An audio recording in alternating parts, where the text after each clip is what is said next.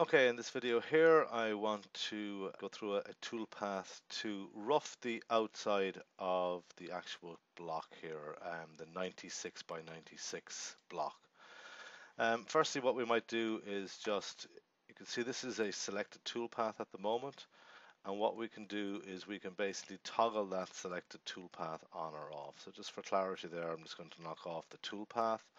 Um, I'm also going to go to view and knock off my stock shading and again I might just right click and top. So I'm looking straight down on the top and again right click and unzoom 80% okay so um, I need to go to my toolpaths. Um, tab on the ribbon bar and I'm going to pick contour and the chaining dialog box opens. At the moment this you can see that the solid selection is grayed out because there's actually no solids here um, in my graphics window. So my only option is to select wireframe. Okay, so with C-plane selected, um, we've got a couple of options here just to show you that if I highlight this option, this just selects a single entity. And I suppose what's important with Mastercam is, is where you click on a line. So if I click over halfway down towards this half of the line, the geometry will start cutting here where the green line is and ends where the red line is. Um, and obviously with my cutter compensation I want to be on the left hand side that means that I'm climb milling. Okay, so that's a single entity. I'm just going to unselect there to show you again. So I can do a complete chain. So selecting a complete chain again, selecting the line in the same position means that I'm going to start here and go all the way around that geometry. Um, obviously all lines um, have to meet, so the endpoints of the first line have to meet where the the start point of the second line is. So your geometry has to be accurate for it to select a full chain. Um, again, if I was to unselect that, another popular one to use is partial. So again, you click where you want to start machining and then you can click to where you want to finish machining and then it's just going to run along the highlighted lines here. So again, I'm going to unselect and in this case, I want to go all the way around the block. So I'm going to press a complete chain selecting on here. Um, so I'm going to start machining on here.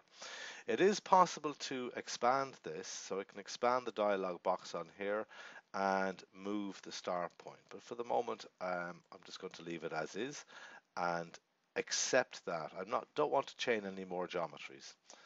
So I'm going to accept that. So again, I need to look at my tool and I'm looking for a library tool and this time I'm looking, my filter is set to look for a spot drill. Um, so I want to say none to that and just look for end mills. And I could say, well, okay, I want to look for an end mill with a diameter of equal to, um, let's just say 16, which on our Haas machines is tool number one here and I go green tick and OK. So inside again in this current library that I'm looking at, and you can see the library here, there's only one 16 diameter cutter. Okay, so I'm going to accept that. Again, I'm going to double click on here to open that particular tool.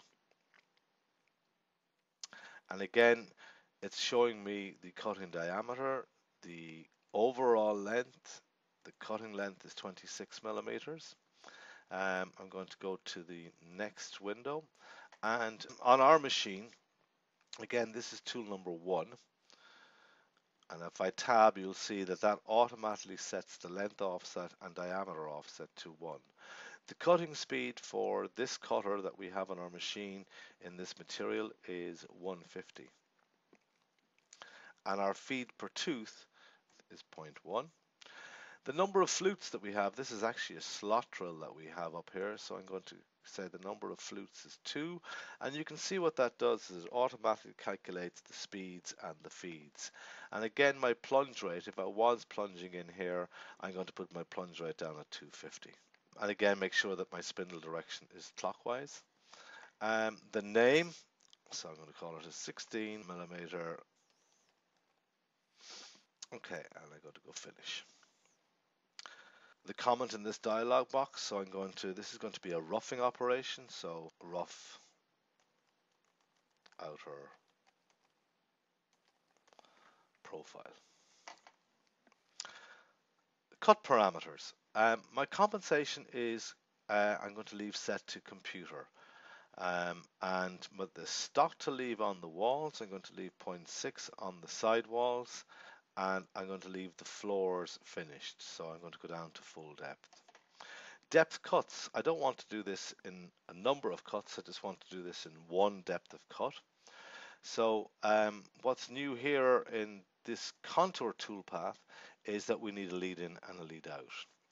Um, and at the moment, I'm just going to leave the default so that the length of the lead in line, so this line here is going to be 100% of the diameter of the cutter, which is 16 millimeters, and likewise the radius. And the same with the lead out.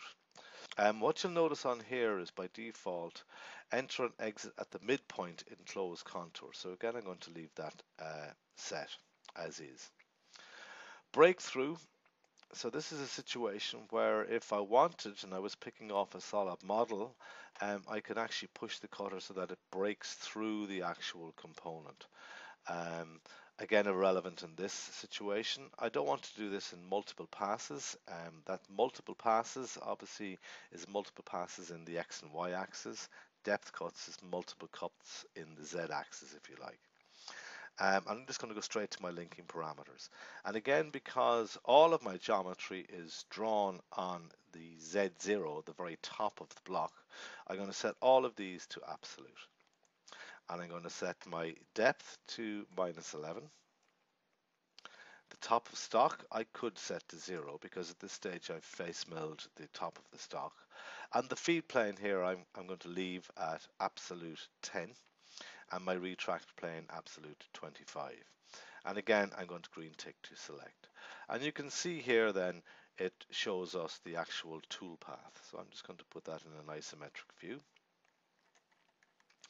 So again, what I need to be conscious of here is as the same with the uh, face mill operation, I am rapiding to here and then I am feeding from 10 millimeters above the top of the job down to minus 11. So I'm actually feeding down 21. If I was to look at the front of the job, that might explain that a little bit.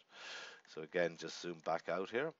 So um, this is level 0 here on Z, so I'm going down to minus 11, but I am rapiding to here and feeding down from here to here.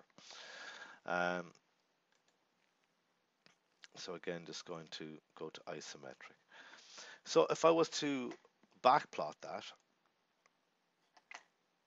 and again, drag it along here, you can see how I am machining around the outside of the block, lead in and my lead out. Um, because my lead in and lead out is quite large, it's quite long, it's a good way, a good deal away from the uh, edge of the block. What I'm actually going to do here is I'm going to reduce this uh, feeding down.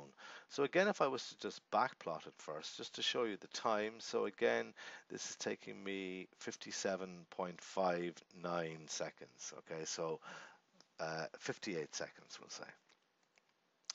Okay, so I'm going to go to my parameters again. And here I'm going to put my feed plane down to minus 10 and apply and green tick. Again, I need to regenerate the dirty operation. And now you can see that I am rapiding down to essentially minus 10, feeding down for one mil and then feeding around. And again, if I was to backplot that and look at the time, you can see there that I've, I've taken, it's down to 52 seconds, 53 seconds. So five seconds off that particular cycle time. Again, if I want to verify that, um, I'm going to select all operations and then verify. So selecting all operations prior to verify will verify the facing operation and the contour. So again, now if I was to play that, you can see my face mill operation on here, and you can see that a, the cutter is well clear of the workpiece where it's leading in and leading out. Again, stop conditions. I'm going to stop on a collision. And when I have stop on collision, I can say, well, what am I checking for a collision with? Um, so I'm going to actually set that I'm checking for a collision with the holder and the shank of the cutter, which um, and the shoulder of the cutter. So I'm making sure that no elements, and in this case, my cutter is 26 millimeters long, so there is no way I'm only going 11 millimeters deep, but it would check that I'm not hitting with the shoulder of the cutter or the shank. So again, if I was to reset this and play, if there was a collision, um, Mastercam would actually stop.